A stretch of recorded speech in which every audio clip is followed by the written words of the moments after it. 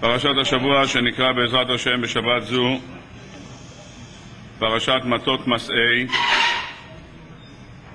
הפרשה, שני הפרשות הללו מסיימות את חומש במדבר. הפרשה פותחת בענייני נדרים, ולאחר פרשת הנדרים עוסקת התורה בעניין מלחמת מדיין והשלל שהביאו אותם בני ישראל ממלחמת מדיין, ומיד לאחר מכן עוסקת הפרשה בעניין בני גד ובני ראובן. ומקנה רב היה לבני ראובן ולבני גד עצום מאוד, ויראו את ארץ יעזר ואת ארץ גלעד, והנה המקום מקום מקנה. הנושא פותח ב"ומקנה", במקום לציין מקנה רב ומקנה. רבותינו שמים לב לפתיחה הזאת שמתחילה בו' במקום לכתוב מקנה רב ומקנה, ומביאים חז"ל במדרש שזה מתחבר, הו' הזאת מחברת אותנו לנושא הקודם. בנושא הקודם מדברת התורה על מלחמת מדיין ועל השלל הגדול שהביאו משם ויהי מחצת העדה מן הצאן שלוש מאות אלף ושלושים אלף שבעת אלפים וחמש מאות, הגיעו משם כמויות אדירות של בעלי חיים. אומרים רבותינו שבגלל זה התורה מסמיכה את העניין של ומקנה רב היה לבני גד ולבני ראובן, בגלל שהתורה קודם כל מדברת על השלל הרב שהביאו אותם בני ישראל ממלחמת מדיין, ומכל השבטים כולם זכו בני גד ובני ראובן לשלל הכי גדול מן הבהמות. השלל הכי גדול שנלקח מן הבהמות זכו בזה בני גד ובני ראובן, ולכן התורה מציינת ומקנה רב היה לבני ראובן ולבני גד עצום מאוד בדיוק לאחר מלחמת מדיין, לומר שהם תפסו את עיקר השלל. גם בבני גד ובני ראובן השלל העיקרי לקחו איתם בני גד. הם היו הראשונים, הם היו החזקים יותר, כך אומרים כאן המפרשים, ולכן הם זכו גם לרוב השלל. שם לב, הכלי יקר, שהתורה מחלקת בין בני ראובן לבני גד. אצל בני ראובן כתוב ומקנה רב היה לבני ראובן.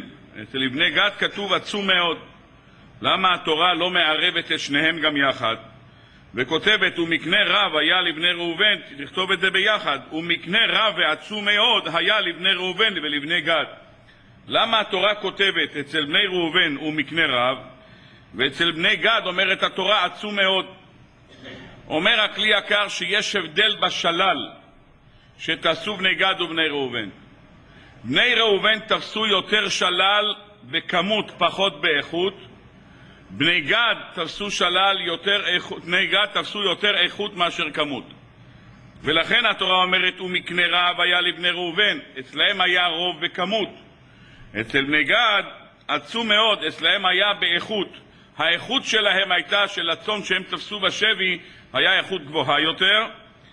אומרים המפרשים, כך מביא הכלי יקר, שהעיזים שהם תפסו, הצאן שהם תפסו, הם היו דוגמת העיזים שהיה לרב חנינא בן דוסה, שהגמרא במסכת תענית אומרת שהעיזים של רב חנינא בן דוסה הביאו איתם דובים בקרניהם, כך אומרת הגמרא שמה, הם היו עיזים חזקות מאוד, ודוגמת העיזים הללו היה לבני גד. כך מביא הכלי יקר במקום.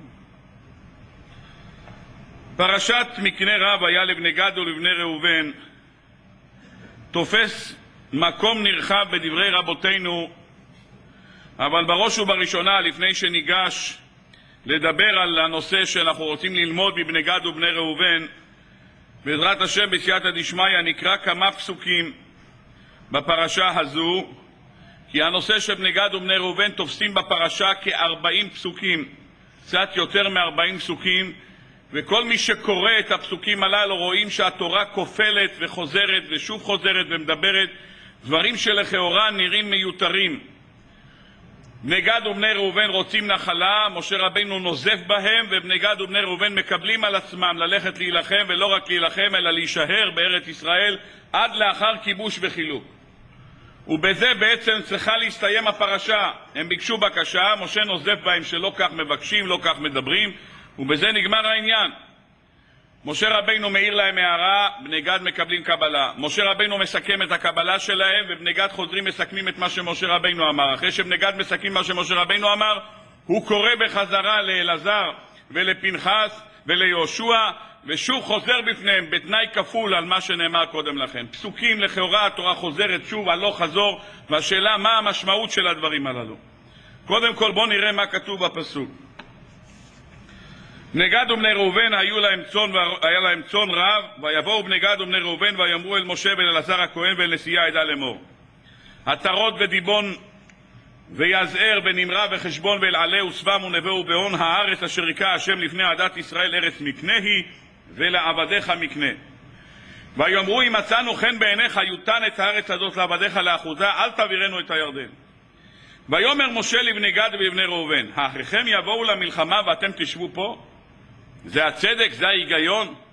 מבחינה מנשלכקייט, בין אדם לחברו, האחיכם יוצאים למלחמה ואתם יושבים בעבר הירדן, קיבלתם נחלה, יושבים בשקט?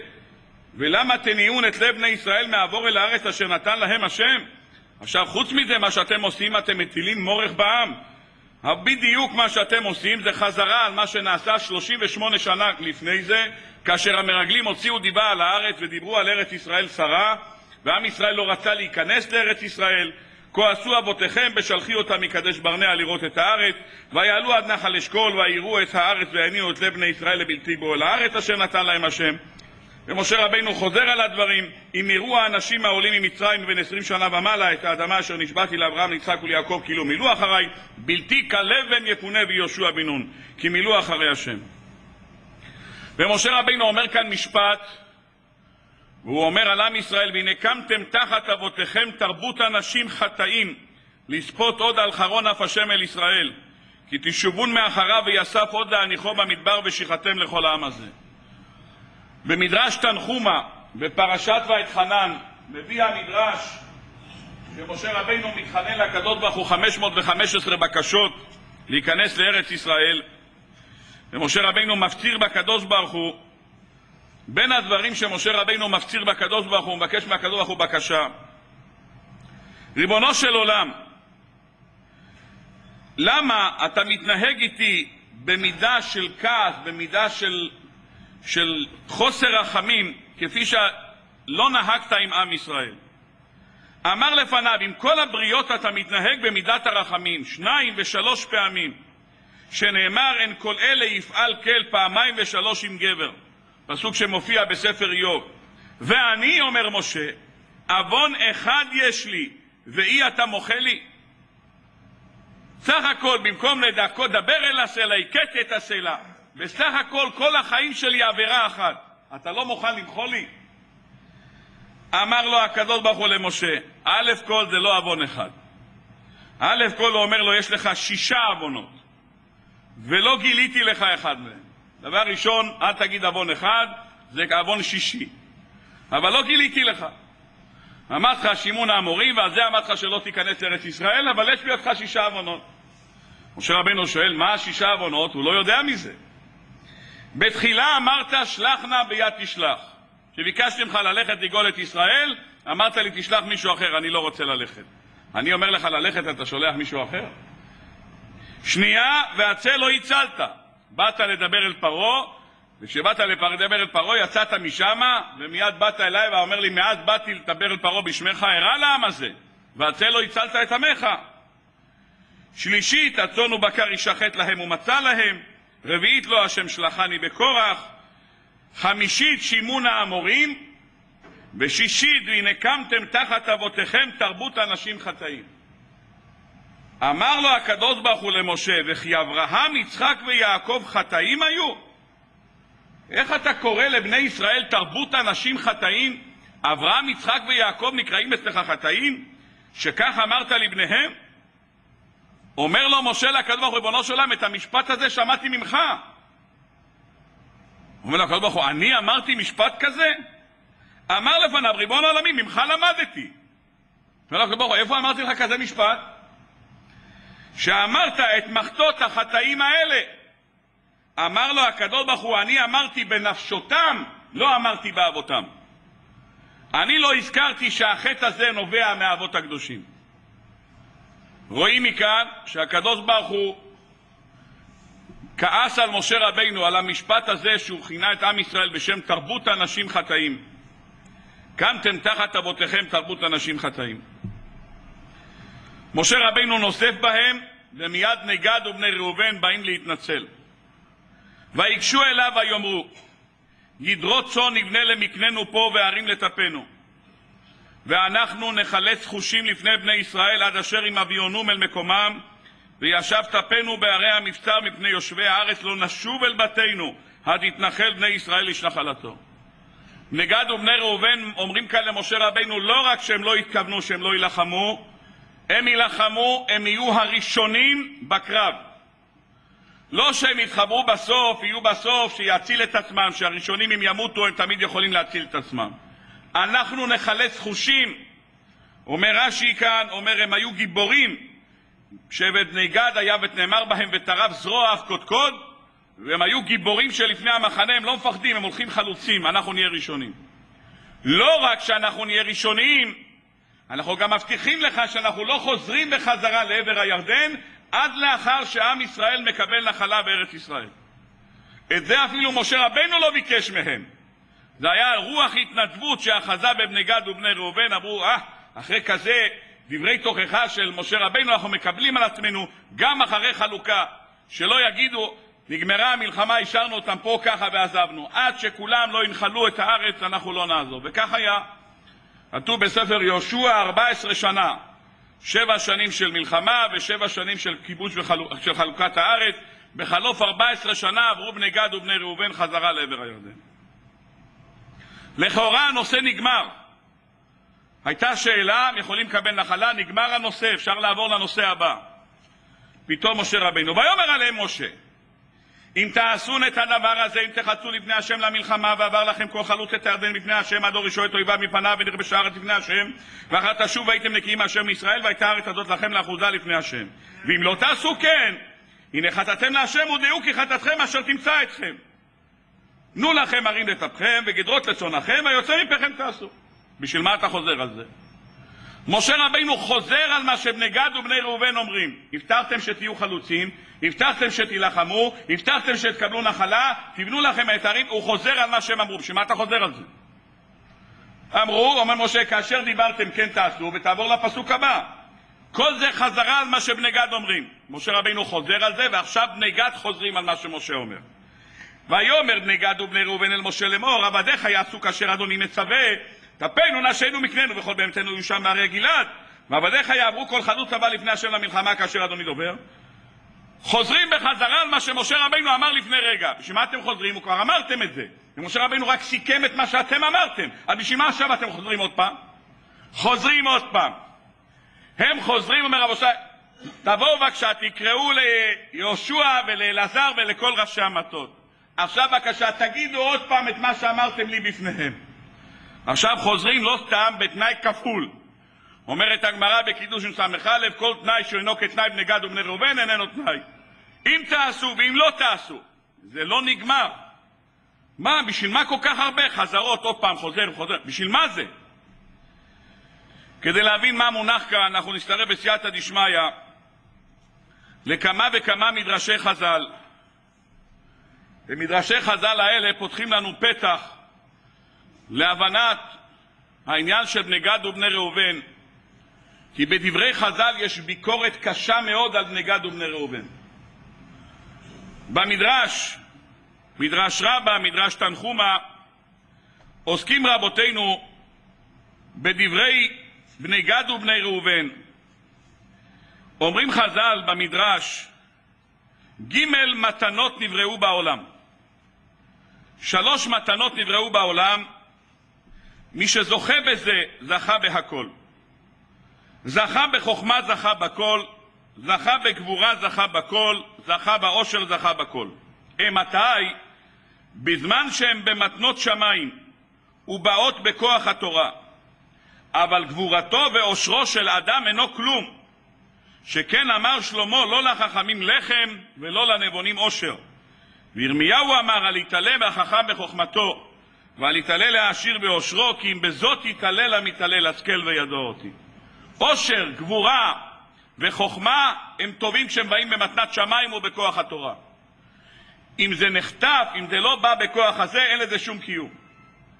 ומתנות אלו, אומר המדרש, שאינם באים מן הקדוש ברוך הוא, סופם להיפסק. וכאן מביא המדרש לכל אחד מהדברים ראיה. שני חכמים עמדו בעולם. אחיתופל בישראל ובילה מאומות העולם. למה הוא לא מביא את שלמה? בגלל ששלמה רק בשלב מאוחר יותר נהיה חכם. לאחר שהוא ביקש חוכמה, אחיתופל מלידתו. אחיתופל בישראל ובילה מאומות העולם ונאבדו מן העולם. שני גיבורים עמדו בעולם, שמשון מישראל וגוליית מאומות העולם, לא נשאר מהם כלום. שני עשירים היו בעולם, קורח בישראל והמן מאומות העולם, לא נשאר מהם כלום. למה? לפי שלא היה מתנתן, אלא, מן היו חוטפים אותה. מה שהיה להם זה לא היה מתנה מהקדוש ברוך הוא, זה היה חטיפה. ממשיך המדרש ואומר, וכן אתה מוצא בבני גד ובני ראובן, שהיו עשירים, והיה להם מקנה גדול, וחיבבו את ממונם, וישבו בחוץ על הארץ, וגלו תחילה מכל השבטים, שנאמר, ויגלם לראובני ולגדי ולחצי שבט המנשה. ומי גרם להם? על שהפרישו עצמם מן אחיהם בשביל קניינם. שכן כתוב בתורה, ומקנה רב היה לבני גד ובני ראובן.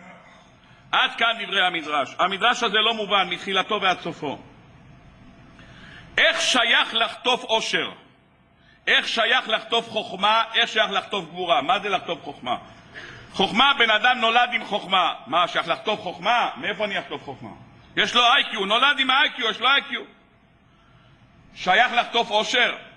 או לגנוב? בגניבה. זה לא נקרא, זה לא נקרא לחטוף עושר, זה נקרא גניבה. זה גנבים. על גנבים אנחנו לא מדברים. עושר זה מה שנגזר לבן אדם. נגזר לו, הוא מקבל את זה. מזונותיו של אדם קצובים לו מראש השנה ועד ראש השנה. אומרת הגמרא במסכת נידה דף ט"ז, בשעה שהעובר נברא, שואל המלאך את הקדוש ברוך הוא, ריבונו של עולם, הנשמה הזאת שעכשיו נבראת, עתידה להיות חכ... חכמה או טיפשה, חכם או טיפש, גיבור או חלש, עני או עשיר, שלושת המתנות האלה.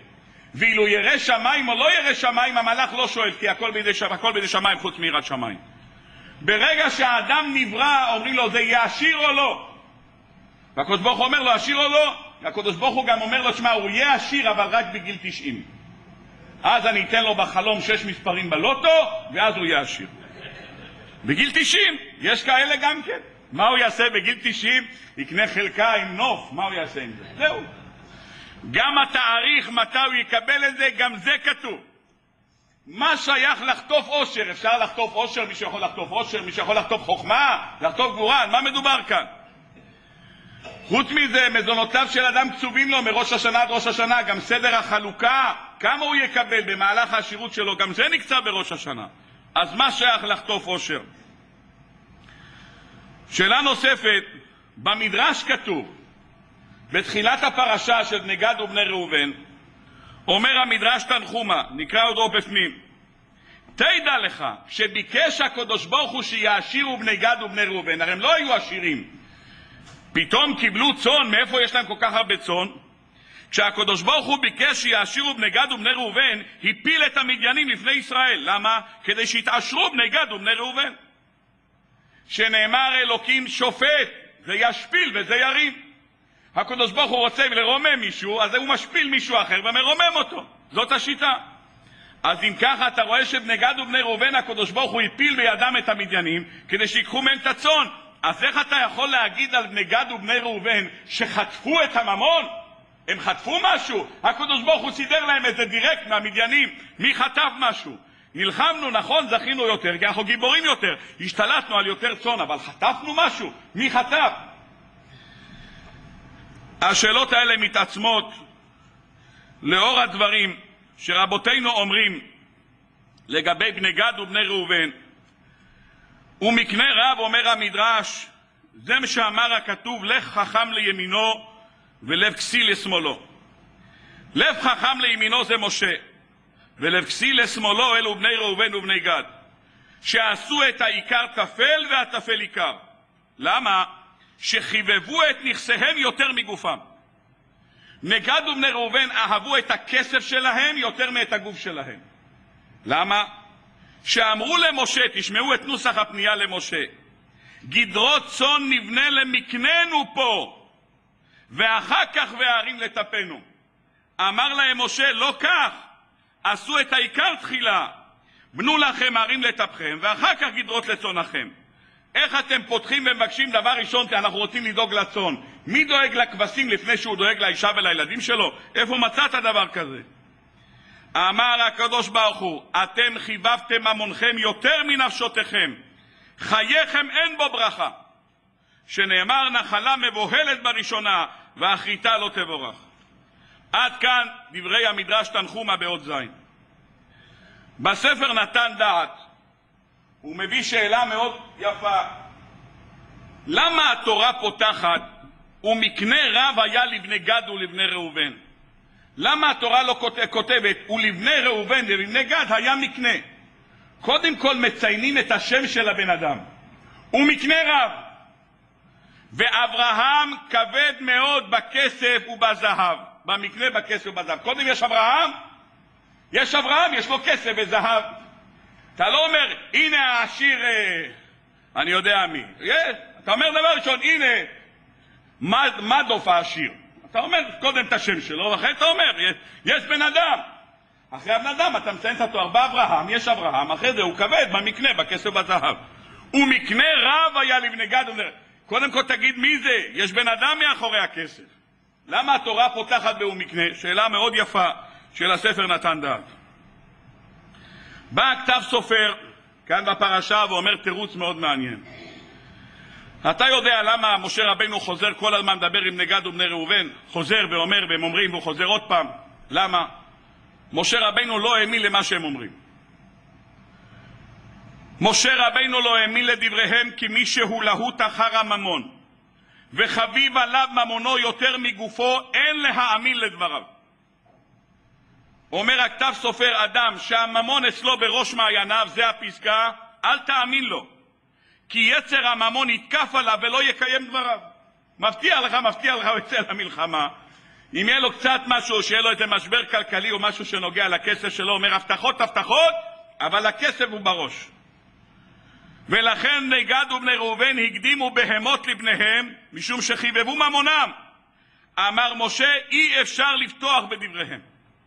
אי אפשר לסמוך עליהם, ולכן הוא חוזר ומתנה איתם תנאי נוספת, והוא משמיע את זה גם בפני ראשי המטות ועושה תנאי כפול. אנשים שלהוטים אחר הממון אי אפשר להאמין להם. באים רבותינו ואומרים, מה זה נקרא לחטוף ממון? כותב החידושי הערים, מופיע בספר פרדס יוסף בשם עוד כמה מפרשים, מה פירוש הדבר לחטוף ממון? רבותיי, בואו נקרא עוד שני פסוקים שאומרים בני גד ובני ראובן ונלמד אותם. משה רבינו שומע את בני גד ובני ראובן מדברים, הם מדברים ואומרים לו שהם רוצים נחלה בעבר הירדן, ואחרי שהם מקבלים ומבקשים נחלה בעבר הירדן ומשה רבינו תוקף אותם, באים בני גד ובני ראובן להתנצל בפני משה. תשמעו איך הם מדברים. ויגשו אליו ויאמרו, הם ניגשים אליו, לא עומדים מרחוק, מקרוב, התנצלות. גדרות צאן נבנה למקננו פה וערים לטפנו. קודם כל אנחנו בונים צאן לצאן שלנו, אחר כך לילדים. ואנחנו נחלץ חושים לפני בני ישראל, עד אשר אם אביונום אל מקומם וישב טפנו בערי המסתר בני יושב הארץ. לא נשוב אל בתינו עד יתנחל בני ישראל לשנחלתו, יוצא מן הכלל. הם גם ינחמו ראשונים, הם גם יחלצו ראשונים, וגם יישארו בארץ ישראל עד לאחר חלוקת ארץ ישראל. עד כאן יוצא מן הכלל. אומרים המפרשים, תשים לב מה כתוב ותראה כמה משה רבינו התעצבן. אומר משה לבני גד ובני ראובן, חוץ מזה שאתם מקדימים את הצאן לפני הילדים, מדברים שלושה פסוקים מה אתם מתכוונים לעשות, ובשלושה פסוקים לא מופיע פעם אחת שמו של הקדוש ברוך הוא. שלושה פסוקים מה הם מתכוונים לעשות, ושמו של הבורא יתברך לא מופיע כאן בכלל. ויגשו אליו ויאמרו, גדרות צאן נבנה, מי בונה? אנחנו. בני גד ובני ראובן הבונים. ערים לטפנו, מי בונה? אנחנו בונים. ואנחנו נחלץ חושים, אנחנו נילחם ראשונה, אנחנו נלחמים. עד אשר אם אביאונום אל מקומם, אנחנו נביא אותם למקום, אל תדאג. הכל אנחנו נעשה. וישב טפינו בערי המפטר מפני יושבי הארץ. לא נשוב אל בתינו עד יתנחל בני ישראל איש נחלתו, כי לא ננחל איתם אבל הירדן והלאה. אומר משה רבינו, אני לא מבין. יושבים בני גד ובני ראובן, דבר ראשון מקדימים את הצאן עוד לפני הבני אדם בכלל. אצלהם הכסף יותר חשוב. הקדוש ברוך הוא לא זה שנתן לכם את הכסף? אתם יוצאים למלחמה בלי עזרת הקדוש ברוך הוא? אתם תהיו ראשונים בלי עזרת הקדוש ברוך הוא? איך אתם מסוגלים לדבר שלושה פסוקים, מה אתם עושים, ופעם אחת לא מזכירים שם שמיים? אומר משה, תשמע, זה כבר טירוף בעשירות. עשיר יענה עזות בצורה כזאת. לפני חודש לא היה לכם איזה אחת לרפואה. פתאום קיבלתם נחלה, נחלה מבוהלת, כל כך הרבה כבשים, אין קדוש ברוך הוא. צאן הרי מעשיר השטרות קרניים, אומרים חז"ל, שמעשירות את בעליהם, אין דבר שמעשיר יותר מאשר צאן. חוץ מההשקעות שנותנים 5% בחודש. אבל באופן עקרוני, צאן מעשיר בני אדם. זה מה שכתוב. אם ככה, אומרים לנו חז"ל, באים חז"ל ואומרים לנו כאן את היסוד. אומר משה רבינו, אם האנשים האלה מדברים שלושה פסוקים בלי להזכיר שם שמיים, הלהיטות שלהם, הלהיטות אחר הממון, הפך אותם לביטחון עצמי כזה, בלי עזר שמיים. אומר להם משה רבותיי, אם תעשו את הדבר הזה, אם תחלצו לפני השם למלחמה, אתם הולכים למלחמה, יש קדוש ברוך הוא במלחמה. ועבר לכם כל חלוץ את הירדן לפני השם. יש קדוש ברוך הוא, אתם חלוצים, וטרף זרוע אף קודקוד, נכון, אתה חזק מאוד גד, אבל בלי קדוש ברוך הוא אתה לא שווה כלום. ונכבשה הארץ לפני השם, ואחר תשובו. כל מה שאתם עושים, הכל קדוש ברוך הוא. והייתה הארץ הזאת לכם לאחוזה לפני השם, אם לא תעשו כן וחטאתם להשם. תנו לכם ערים לטפכם, וגדרות לצונכם. קודם כל מזכירים את הנשים ואת הילדים, אחרי זה את הצאן. והיוצא מפיכם תעשו. בני גד מקבלים כאן שני נזיפות. האחת, למה אתם מקדימים את הצאן לפני הנשים והילדים, והשנייה, איך אתם לא מזכירים שם שמיים. בני גד מקבלים ומתנצלים בפני משה. ויאמר בני גד ובני ראובן אל משה לאמור, עבדיך יעשו כאשר אדוני מצווה. טפנו, נשינו, מקננו, וכל בהמתנו יהיו שם בערי הגלעד. זה הסדר הנכון. אמרת קודם נשים וילדים, הולכים עם זה. ועבדיך יעברו כל חלוץ צבא לפני השם למלחמה, כאשר אדוני דובר.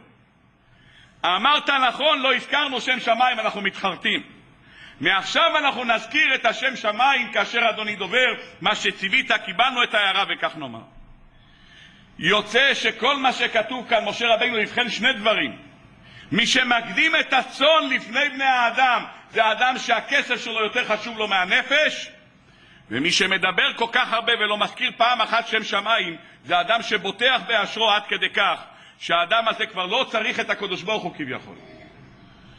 אם ככה, בא המדרש ואומר, עכשיו תבין, מה זה המושג הזה, שהמדרש מדבר על עשירות שנחטפת. אי אפשר לחטוף עשירות. מה זה נקרא עשירות שחוטפים אותה? אם אדם יודע שאין לו מה להתעלל, לא בחוכמה ולא בעשירות, כי אם בזאת יתעלל המתעלל, השכל וידוע אותי. אם אתה יודע שאתה עשיר, זה הקדוש ברוך הוא. וזה שיש לך כסף ולהוא אין כסף, כי הקדוש ברוך הוא שם אותך בתפקיד של עשיר. וזה שאתה ידעת להשקיע, להשקיע יותר טוב, זה בגלל שהקדוש ברוך הוא יאיב לך דעת למיקני נחוסי. זה שהקדוש ברוך הוא נתן לך עצה לקנות במקום הזה ולא במקום הזה, כי הוא נתן לך עצה. כי הוא הנותן לך כוח לעשות חיל, הוא ולא אחר. שלא תחשוב שאתה חכם גדול, ידעת להשקיע בזה ולא בזה, כי יש לך חוכמה גדולה. כמו שזה יכל לעלות, כך זה יכל לרדת באותה מידה. אין שום היגיון ושום דבר. אנשים גדולים שהשקיעו והיו בטוחים שהם מלכי העולם, יש להם בניינים לרוב בכל ארצות הברית. מי, איפה, מי יכול לגעת להם? הולכים היום בעירום ובחוסר כל. למה? כי הוא יאיב לך, הוא נותן לך כוח לעשות חיל. הכל זה הוא. זה התוכחה שבאים חז"ל ללמד אותנו בבני גד ובני ראובן. כיצד צריך להעיף את המבט על נושא של ממון. עד כמה הנושא של ממון תופס כאן, שמשה רבינו חוזר על זה כל כך הרבה פעמים. לא לשים את הממון בראש מעייניכם. דבר ראשון טפינו, דבר שני נשינו, אחרי זה צוננו, יש סדר, ולדעת שהכל בא מאיתו יתברך.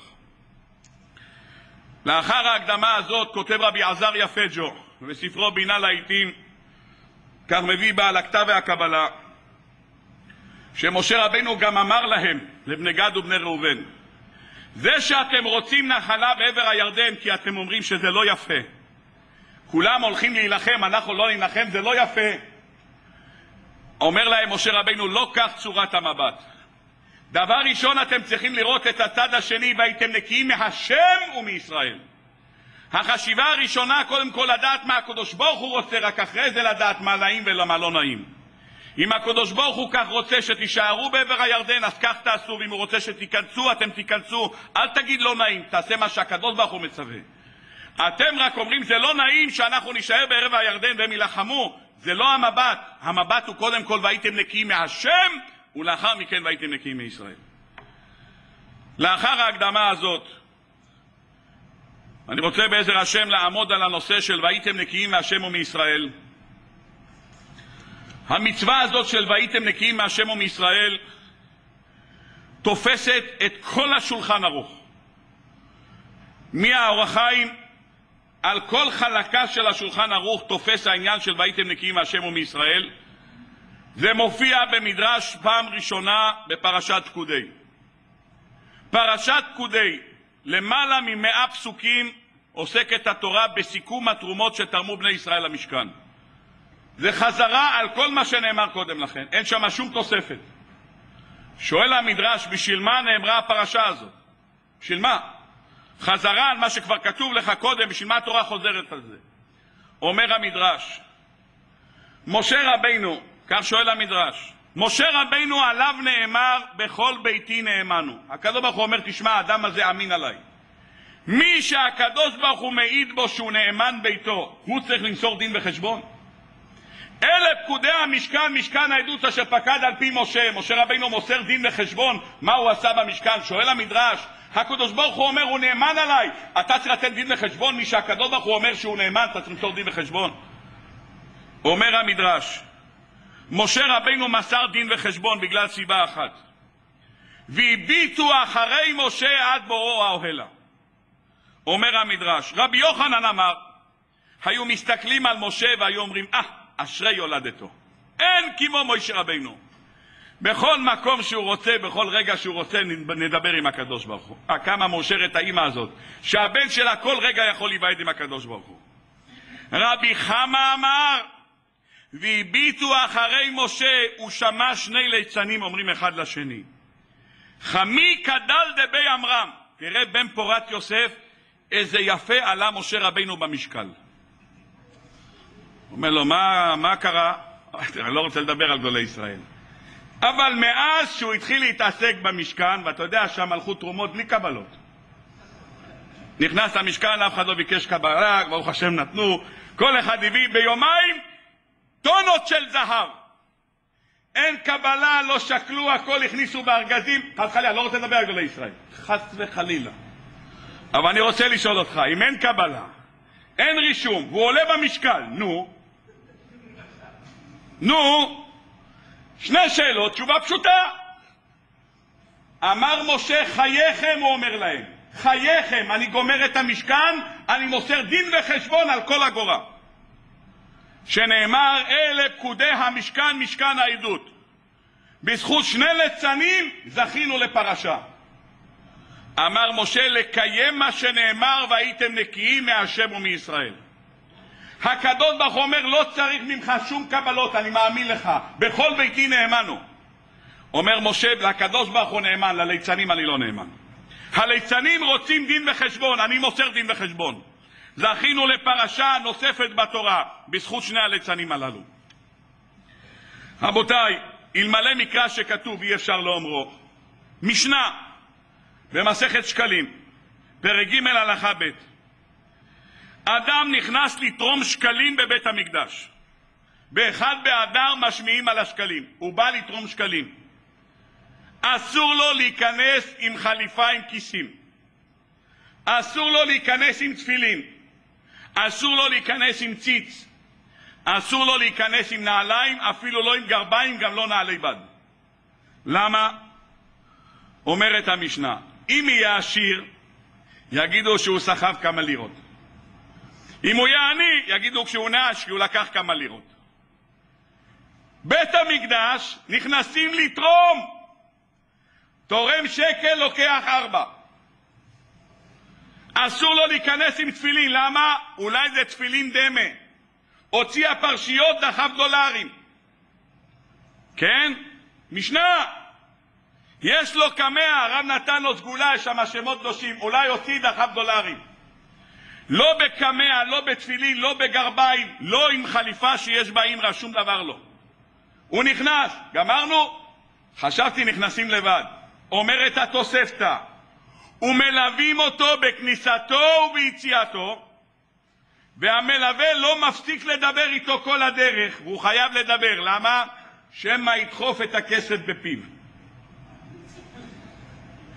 משנה במסכת שקלים, נכנס בן אדם לתרום, ישים שקל, יכניס ארבע בפה. יצא החוצה, שואל אותו, מה שלומך? זהו, מה, טייניס דיבור. מה? ככה זה. ואם יש לו שערות גדולות, אומרת התוספתא והירושלמי, אסור לו להיכנס ככה לתרום, שמא יחביא בשערותיו. בן פורת יוסף. בית המקדש, נכנס בן אדם לתרום, תורם אחד לוקח ארבע עודף. גמרא תענית י"א, אומרת הגמרא, ובמה שימש משה רבינו בשבעת ימי המילואים? אומרת הגמרא, בחלוק לבן.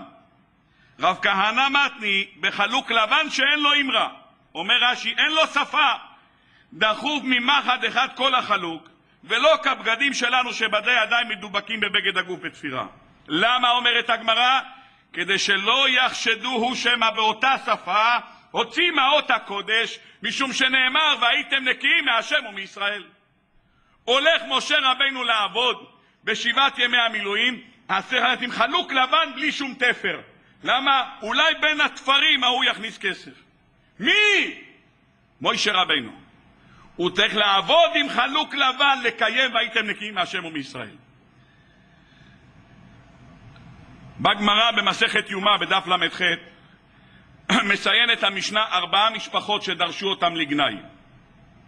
אלה ארבע משפחות שהיה להם אחיזה, הם אחזו בארבעה דברים מיוחדים במקדש, שניים מתוכם, למרות שגינו אותם, שיבחו אותם. מי השניים שגינו אותם ושיבחו אותם? הראשונה זה בית גרמו. בית גרמו, אומרת הגמרא, הם ידעו לעשות את לחם הפנים כך שמוציאים אותו מהתבנית, הלחם לא נשבר. ביקשו מהם חכמים שיגלו את הסוד לעשיית הלחם, כולל הרדייה, כולל האפייה, שילמדו אנשים אחרים, הם לא רצו.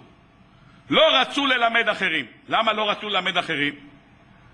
הם אמרו לחכמים שהם פוחדים שמא יחרב בית המקדש, ואז אם ילמדו אנשים אחרים, האנשים האחרים האלה ישתמשו בזה לעבודה זרה, הם לא רוצים.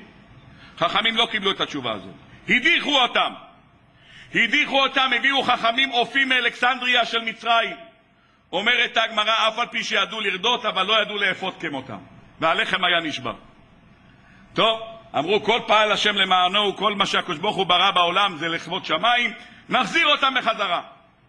באו להחזיר את בית גרמו, אמרו להם בואו תחזרו, אני רואה המצרים לא יודעים. אמרו, אה, לא מסתדרים, מאה אחוז העלאה במשכורת. לא מסתדרים, עכשיו, איך אומרים, נתפוס אתכם בגרון. במקום 12 מנה, 100 אחוז תוספת. 24, יש אומרים במקום 24, 48. ועל דבר זה גינו את בית גרמו. אומרת הגמרא, אבל היה דבר אחד ששיבחו אותם. מה שיבחו את בית גרמו? מעולם לא נמצא פת נקייה אצל אחד מצאצאי בית גרמו. אף על פי שיכלו בית גרמו לעשות לבד לחם נקי, לנפות את זה לבד, הם תמיד אכלו לחם שחור. למה? כדי שאנשים לא יגידו, אה, אוכלים לחמניה לבנה, בטח סחבו את הקמח של לחם הפנים. כדי שלא לעלות על בת דל שפתיהם של אנשים, לקיים מה שנאמר, והייתם נקיים מהשם ומישראל, הם לא נתנו לילדים שלהם לאכול לחם לבן. ועל דבר זה שיבחו אותם חכמים. מה שצריך לשבח משבחים, מה שצריך לגנות מגנים. בית אבטינס, אומרת הגמרא, הם היו עושים את הקטורת. הם ידעו לקטוש את הקטורת, הם היו מכניסים בתוכו חומר שנקרא מעלה עשן, שהעשן של הקטורת היה עולה ישר ולא מזגזג. אמרו להם, תלמדו את זה לאחרים, הם לא מלמדים. הביאו חכמים מאלכסנדריה. אומרים החז"ל, הם ידעו לקטוש, אבל לא ידעו לסדר את הקטורת שתעלה ישר. החזירו אותם, אמרו להם, בואו תחזרו, אין, אין לכם תחליף. אמרו, אם אנחנו חוזרים, מאה אחוז תוספת. הם כבר הכירו את הסיפור מבית גרמו, הם שמעו שזה הלך טוב אצל בית גרמו, גם אבטינס העלה משכורת. מ-12 ל-24 יש כאלה מ-24 ל-48. אומרת הגמרא, ועל דבר אחד היו משבחים אותם. מעולם לא יצאה כלה מבוסמת מבתיהם, אישה עם בושם לא יצאה מהבית שלהם. שלא יאמרו מבשם, מהבושם של הקטורת היא בשמה את עצמה. וכשהיו לוקחים אישה ממקום אחר, הבן של בית, בית אבטינס היה מתחתן עם אישה בבית שמש, אומרים לה, תשמעי, בתנאי הכתובה כתוב, את לא נכנסת לפה עם פסמים. פסמים אין אצלנו בבית. למה? כי אם את תקחי בושם, יגידו, תשמעי, בתפטינס יש להם בבית כל מיני פסמים, מזה היא לקחה. לקיים מה שנאמר, והייתם נקיים מהשם ומישראל. באים חז"ל ואומרים, תדע לך, שהחובה של האדם לנקות את עצמו ולהיות נקי מהשם ומישראל זאת חובה בסיסית שהאדם שחושדים בו בדבר מסוים ואין בו הוא חייב ללכת להגיד לאנשים תדע לך חושדים בי חשד שווא. אדם בא מישהו מעליל עליו שמע שמעתי שעשית ככה. הוא צריך ללכת להגיד לאנשים שקר וכזב. מאיפה לומדים את זה? אומרת הגמרא בברכות ל"א לומדים את זה מחנה עלי חשד אותה לשיכורה. הוא ראה שרק שפתיה נאות וקולה לא יישמע. הוא בא ואומר לה, למה תשתכרין? למה את משתכרת? ומה היא אומרת לו, אני לא שיכורה, אישה קשת רוח אנוכי. אומרת הגמרא, למה היא אמרה את זה? היא חייבת עוד דין וחשבון? נשמע היא צריכה להגיד לו את זה. אמר רבי אליעזר, מכאן לנחשד בדבר שאין בו, שצריך להודיעו. חושדים בך בדבר שזה לא נכון, תגיד, זה שקר? תוריד מעצמך את החשד. כך אומרת הגמרא במסכת ברכות, היא מחייבת אדם שיש עליו חשד, להסיר ממנו את החשד. במשנה שקלים, פרק ב' הלכה ה',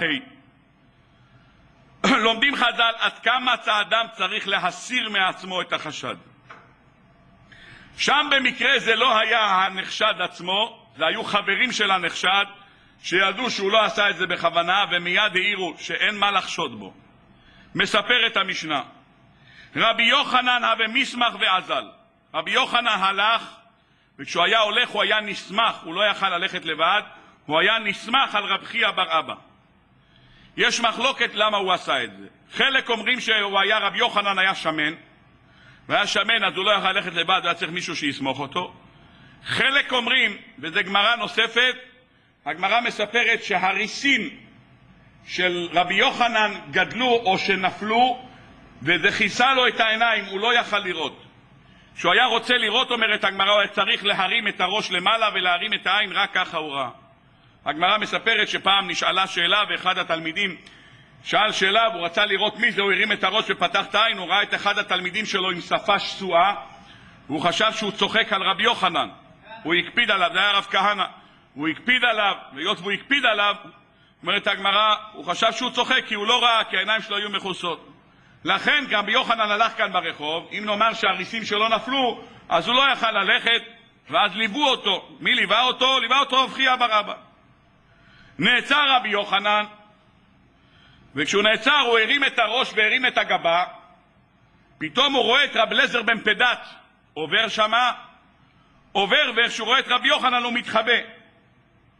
אומר רבי יוחנן, לרב חייא בר אבא, אומר, תשמע, רב אליעזר בן פדת לא בסדר. הלין תרתי מיליו, הדין בבלו העביד בי. שני דברים שאינם כהוגן עושה איתי הבן אדם הזה שעלה מבבל. חדה דלא שייל בשלוימי, הוא לא בא לשאול, כבוד הרב, מה שלומך? ועוד מתמר, הוא לא רק שהוא לא בא לשאול, הוא עוד מתחבא. לא רק שהוא בא לשאול, עוד מתחבא, מסתתר ממני, זה לא בסדר. אמר לו רבי יעקב ברידי, כך נהידינגה בהון. הוא, רבי אליעזר בן פדת, עלה מבבל. בבבל יש מנהג שהצעירים לא באים למבוגרים לשאול בשלומם, לא בגלל זלזול, בגלל עודף כבוד, בגלל היראה והכבוד שיש להם לאנשים מבוגרים. הם לא באים לשאול בשלומם. הוא מביא לו על זה פסוק בספר איוב. כתוב באיוב, ראוני נערים ונחבאו, וישישים קמו, עמדו. אומר איוב, כשאני הייתי בשיא כוחי, המבוגרים קמו בפניי. הצעירים מיראת הכבוד ברחו ממני מרוב פחד. כך הם נוהגים בבבל, אומר לו רבי יעקב בר אידי. בבבל כשהם רואים אדם גדול, מהפחד והיראה, הם בורחים לצדדים. אה, אומר רבי יוחנן, מה פתאום? לא קיבל את הדברים הללו. לא קיבל את הדברים, ואחרי שהוא ראה שהוא לא קיבל את הדברים, הוא אמר, כבוד הרב, אני רוצה לשאול אותך שאלה. בבקשה. אומר לו רבי ינקב, מהו למעבר קמי דעדור אצלמה? אם יש צלם, אני הולך הביתה, בדרך הביתה יש לי צלם שקוראים לו עדורה, זה שם הצלם. ואני בדרך הביתה יש לי שני אופציות, או שאני אקיף את המקום שנמצא הצלם, או שאני יכול לעבור במקום של הצלם. האם מותר לי לעבור לפניו? אני לא עובד אותו, לא מתכוון לעבוד אותו, שום דבר. האם מותר לי לעבור לפניו? האם בזה שאני עובר לפניו, זה נקרא שאני מכבד אותו? אומר לו רבי יוחנן, מה פתאום? מה אתה פוליג יקר? איזה מין כבוד? מה אתה, זה שאתה עובר לפניו אתה נותן לו כבוד? מה פתאום? עבור כמוהי וסמי עינוי, אומר לו רבי יוחנן. אדרבה, תעבור לפניו, אל תתייחס אליו. אם תעבור לפניו ולא תתייחס אליו, זה הבושה הכי גדולה שישנה. אם אתה עובר לפניו, ובמקום לעשות איזושהי פעולה שכל הגויים עושים, אתה עובר לפניו ולא עושה כלום, אם אתה עובר לפניו ולא עושה כלום, זה הבושה הכי גדולה שאתה יכול לבייש אותו. כך אומר לו רבי יוחנן. אמר לי, אם ככה, טוב עשה רב לזר בן פדת. אם ככה, טוב עשה רב לזר בן פדת שהוא התחבא. למה?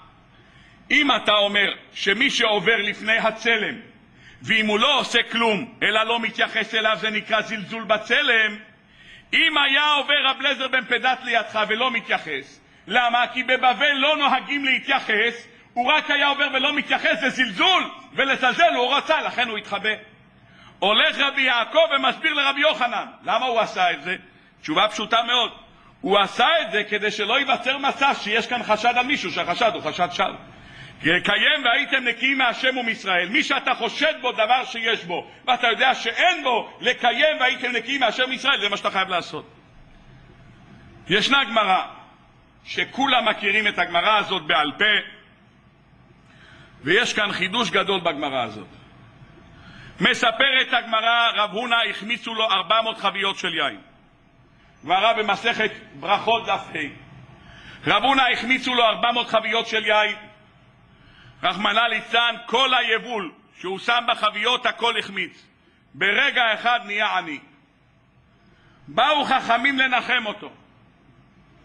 באו חכמים לפייס אותו. הם באים לפייס אותו, מה, איך מפייסים בן אדם? אומרים לו החכמים לרב הונא, לעיין מר במילי, בבקשה תבדוק את עצמך. אה, איזה פיוס. בן פורת יוסף, בן אדם מפסיד את כל הונו, באים לנחם אותו, ולא תשמע, תבדוק את עצמך.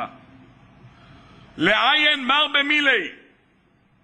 אומר להם רב הונא, וכי חשידנא בעינייך הוא? מה, אני חשוד? משהו לא עשיתי בסדר?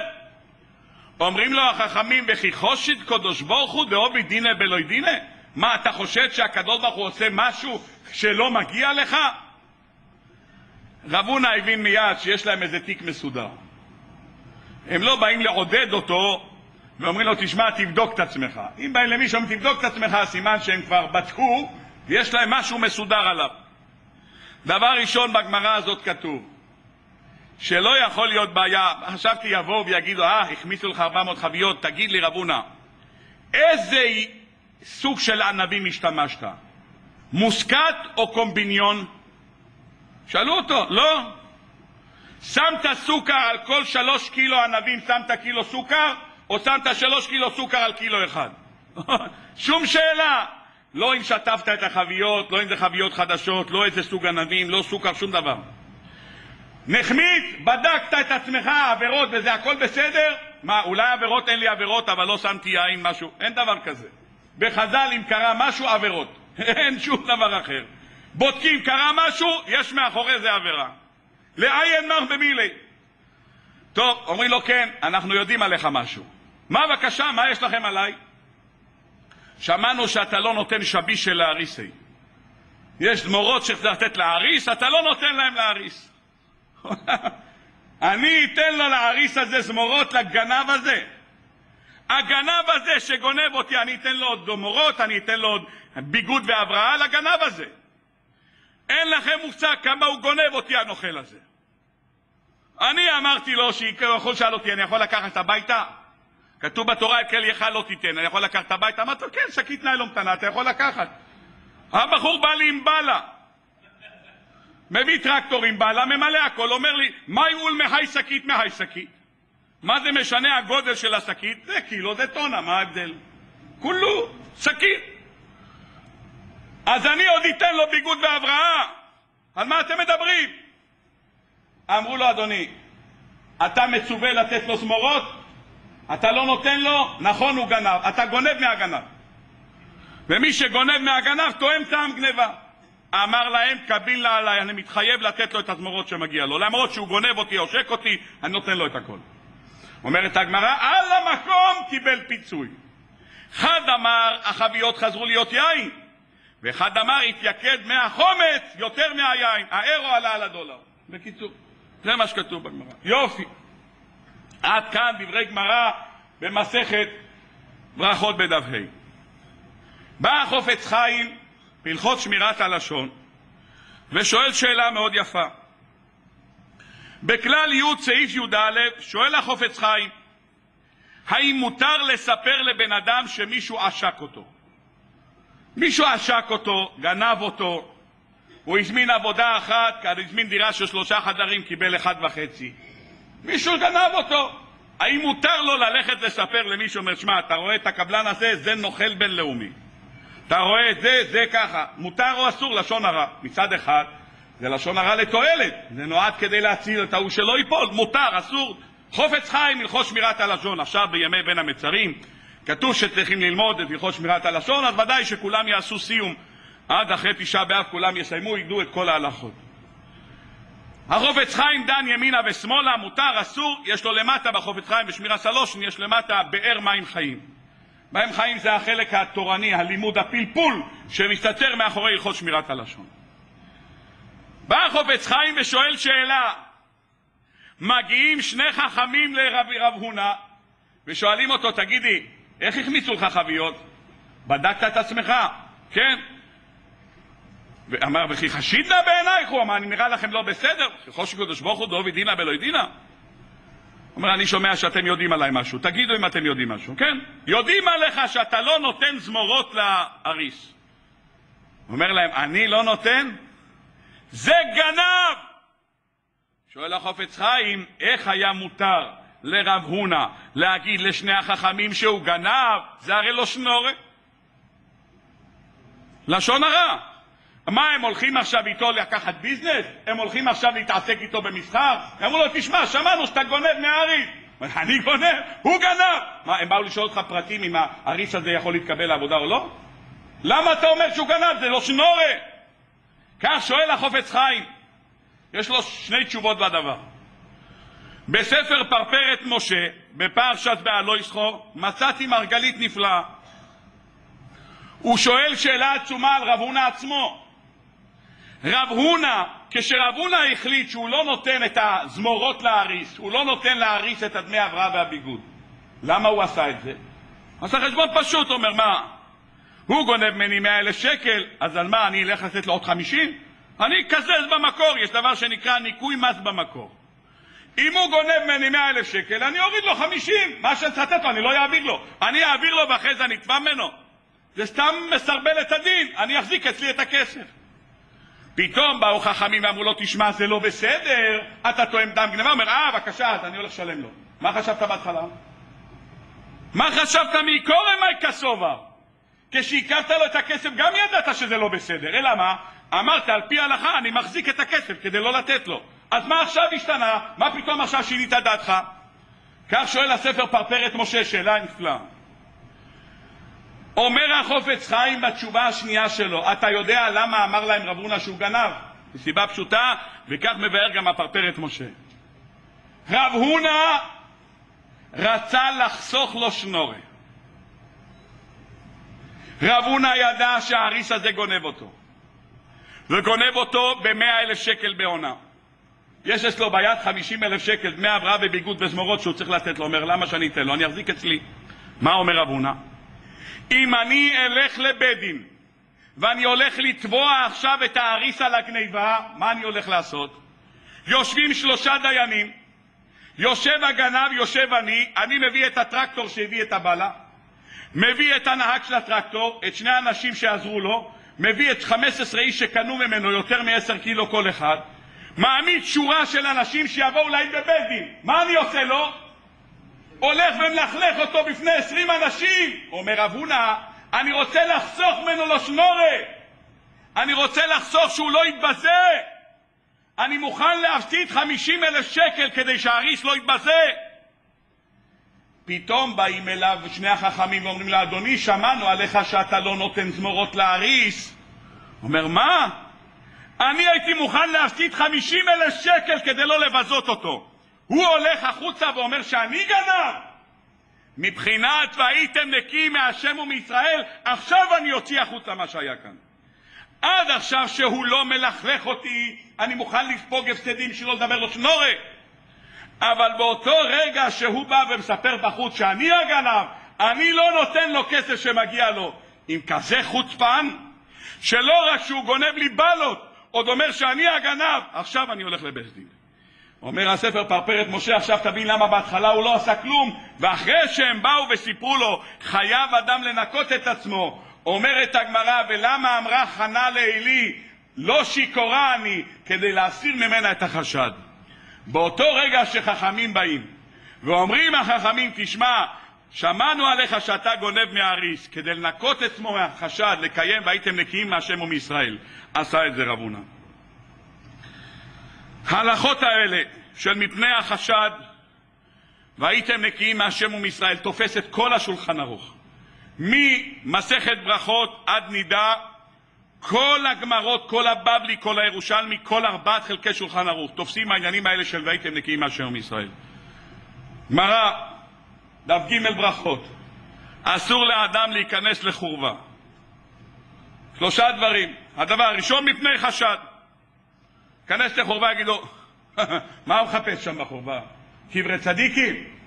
מה יש שם לחפש? מיד הרעיון המפותח של אנשים, יגיד לו חורבה והבת, תיתן. כבר מיד אנשים בן פורת יוסף, יש להם עודף מילים בפה, וכל אחד ייתן את חוות דעתו מה הוא מחפש בחורבה. אומרת הגמרא, אסור לו לאדם לעבור אחורי בית הכנסת בשעה שהציבור מתפללים. מפני החשד. יגידו אנשים, שמע, הוא מזלזל בתפילה. גמרא במסכת שבת, דף כ"ג, אומרת הגמרא, אדם גר בבית שיש לו שני כניסות.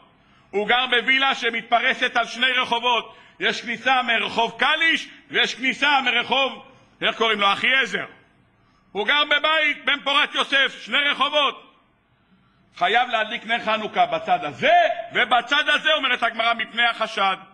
למה מי שעובר ברחוב קליש לא יודע שהוא הדליק ברחוב אחיעזר. הוא יודע, לא יודע שהדליק שמה, אם הוא לא יודע, אז מה לא יגיד? הוא לא מדליק יותר נרות חנוכה, אז הוא צריך להדליק גם שמה. פוסק הרמו להלוכה שלא מברכים על זה. הוא מברך פעם אחת ורץ לשמה להדליק בלי ברכה. אומר הכל בו, הוא מברך גם על הנר השני. שמברכים על תקנה של רבנן, לקיים והייתם נקיים מהשם ומישראל. צריך לברך עוד ברכה, מה זה משנה לי תקנה דרבנן על זה, או תקנה דרבנן על זה. הלכה נוספת, שולחן ערוך. למדנו את ההלכה הזאת גם בפרשת וישב. יוסף רואה את האחים שלו לוקחים עגל בלי לשחוט אותו, אוכלים אותו חי. חותכים ממנו איברים כשהוא חי. ומה? עבר מן החי? מה זה? או מפרכס, תלוי. הוא לא ידע שמה שהם אכלו זה היה בן תקועה. הם שחטו פרה, שחטו פרה, הוציאו עגל. אומרת הגמרא במסכת חולין, פרה בן תקועה ניתר בשחיטת אמו. ברגע ששחטו את האמא היה בתוך העובר, העובר יצא בשחיטת אמו, אפשר לקחת אותו בלי לשחוט אותו. אומרת הגמרא, זה כל זמן שהוא לא הפריס על גבי קרקע.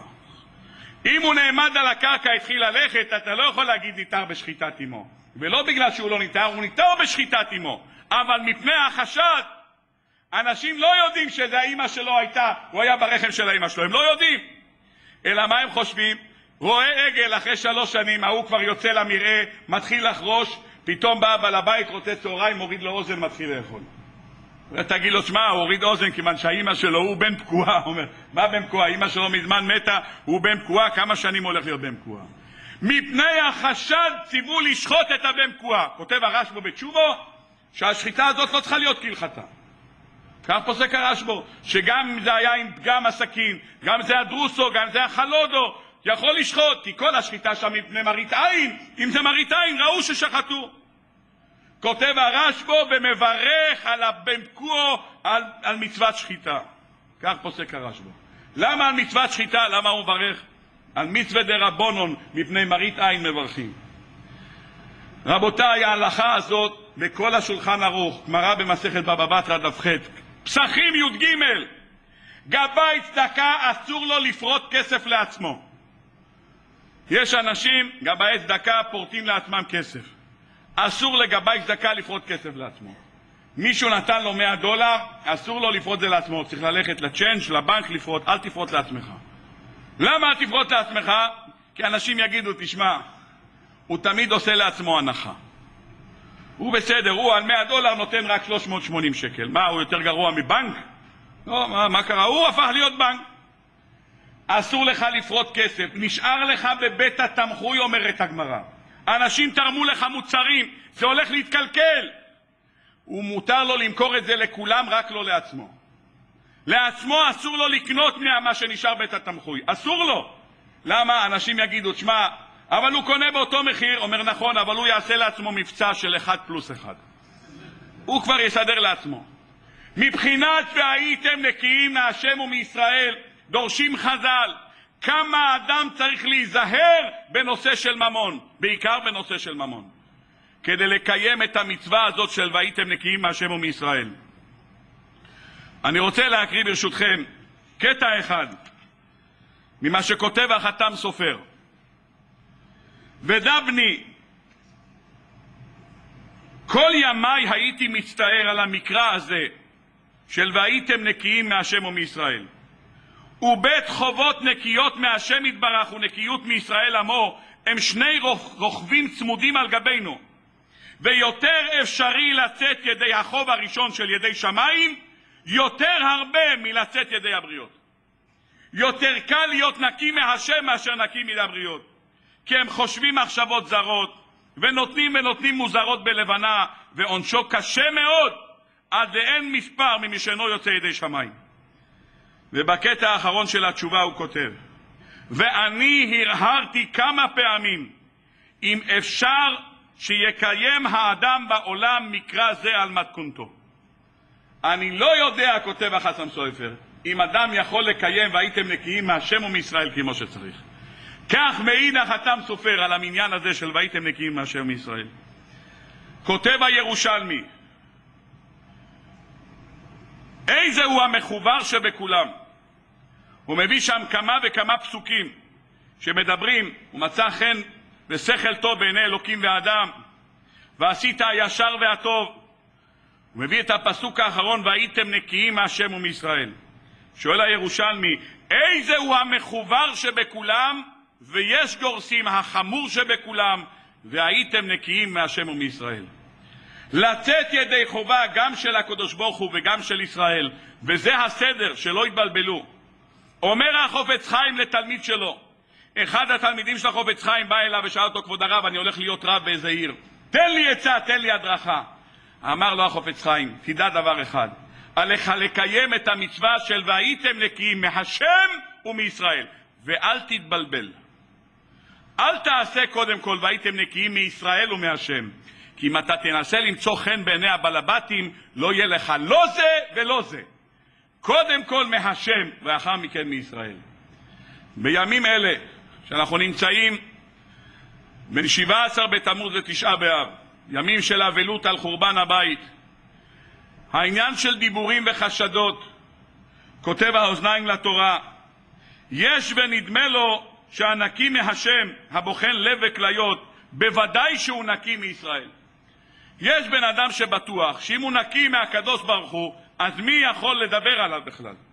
אבל אין הדבר כן.